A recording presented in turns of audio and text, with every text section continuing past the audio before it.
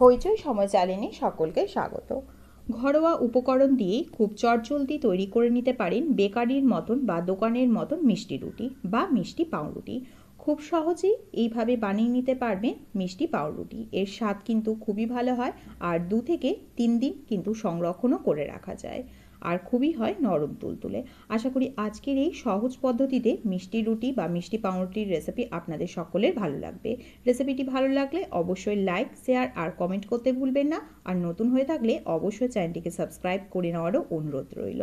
তাহলে চলুন দেখে নেওয়া যাক আজকের এই রেসিপি প্রথমে আমি এখানে চায়ের কাপে মাপ করে দেড় কাপ পরিমাণে ময়দা নিয়ে নিচ্ছি। দেড় কাপ ময়দার জন্য আমি এখানে তিন চামচ গুঁড়ো চিনি ব্যবহার করছি। পাউরুটি তৈরি করবার সময় যদি গুঁড়ো চিনি ব্যবহার করা হয় তাহলে কিন্তু খুব ভালো হয়। তাই চিনিটাকে গুঁড়ো করে ব্যবহার করার চেষ্টা করবেন। সেই চামচেরই মাপ করে দিয়ে দিচ্ছি দু চামচ গুঁড়ো দুধ। গুঁড়ো দুধটা দিলে এই মিষ্টি পাউরুটির স্বাদ কিন্তু আরও দ্বিগুণ মাত্রায় বেড়ে যায়। দিয়ে দিলাম সামান্য একটু নুন। নুনটা কিন্তু একদমই অল্পখানি দিতে হবে। খুব ভালো করে এবার সব শুকনো উপকরণগুলোকে মিশিয়ে নিচ্ছি। আমি এই যে পদ্ধতিতে পাউরুটিটা তৈরি করে দেখাচ্ছি, সেই পদ্ধতিতে কিন্তু কোন রকমভাবে ইস্টের ব্যবহার করছি না।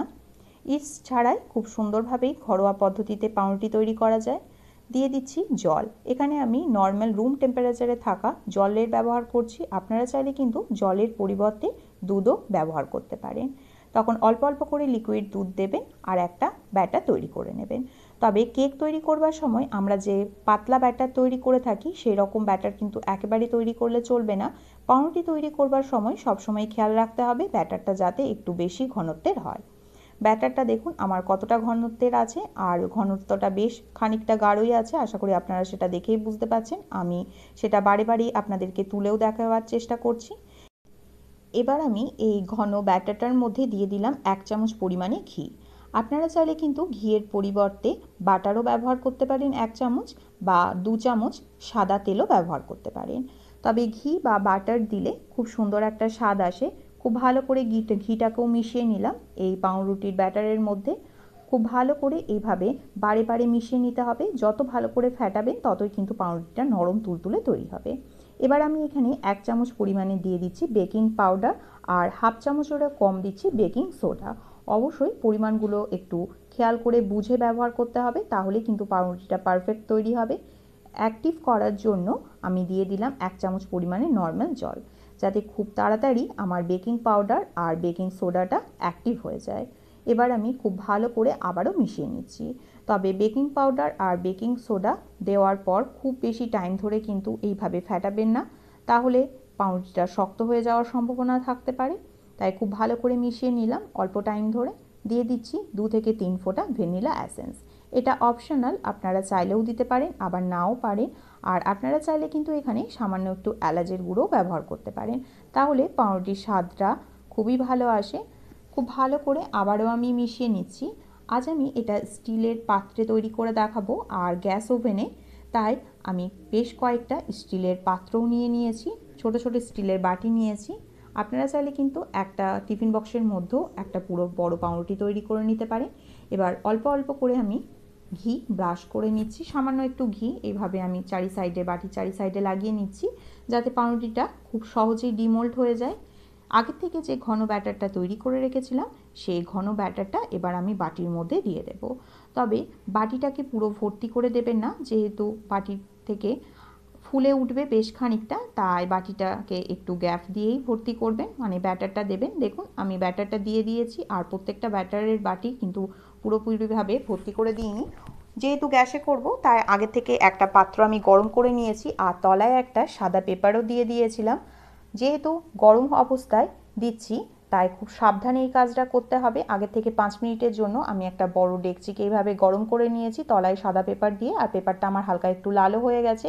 এবার গ্যাসের ফ্লেমটাকে মিডিয়ামে রেখে আমি ওপর থেকে ঢাকা দিয়ে আরও পাঁচ মিনিটের জন্য অপেক্ষা করব। পাঁচ মিনিট হয়ে গেছে, আমি পাঁচ মিনিট পর ঢাকাটা খুলছি। আর দেখুন, আমার এই প্রত্যেকটা পাউরুটির বাটি বেশ খানিকটা করে ফুলে উঠেছে। আশা করি আপনারা সেটা দেখেই বুঝতে পারছেন। এবার আমি ওপর থেকে সামান্য একটু টুটি ফুটি ছড়িয়ে দিচ্ছি। তাহলে কিন্তু বেশ ভালো লাগে দেখতে আর খেতেও ভালো লাগে। আপনারা চাইলে কিন্তু এখানে মোরব্বাও ব্যবহার করতে পারেন।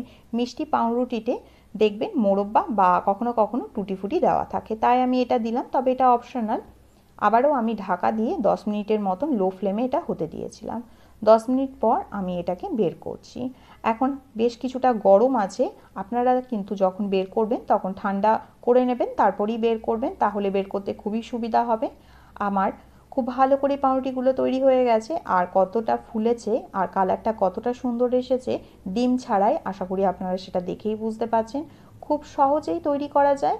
আর এবার আমি বাটি থেকেও এটাকে ডিমোল্ড করে নিচ্ছি। তাই ছুরির সাহায্যে আমি এই কাজটা করে নিলাম। খুব সহজেই দেখুন বাটি থেকে আমার ছেড়ে এসেছে। আর কোন রকমভাবে বাটির গায়ে কিন্তু লেগেও যায়নি। আশা করি আপনারা সেটা দেখেই বুঝতে পারছেন। আর কতটা নরম হয়েছে সেটাও বুঝতে পারছেন। এবার আমি এক এক করে প্রত্যেকটা পাউরুটিকে বাটি থেকে বের করে নিচ্ছি। আশা করি আজকের এই সহজ পদ্ধতিতে মিষ্টি পাউরুটির রেসিপি আপনাদের সকলের ভালো লেগেছে। রেসিপিটি ভালো লাগলে অবশ্যই লাইক শেয়ার আর কমেন্ট করে জানাতে ভুলবেন না। আর নতুন হয়ে থাকলে অবশ্যই চ্যানেলটিকে সাবস্ক্রাইব করে নেওয়ারও অনুরোধ রইল। আর পাশে থাকা বেল আইকনটিকেও প্রেস করে রাখবেন। তাহলে খুব সহজেই নিত্য নতুন রেসিপি আপনাদের কাছে সর্বপ্রথম পৌঁছে যাবে। এছাড়াও আমার চ্যানেলে আরও অনেক ধরনের কেকের রেসিপি আছে। আপনারা চাইলে সেগুলোও দেখে আসতে পারেন। আশা করি ভালো লাগবে। ভালো থাকবেন, সুস্থ থাকবেন। দেখা হচ্ছে আরও এক অন্য কোনো রেসিপির সাথে। অসংখ্য ধন্যবাদ।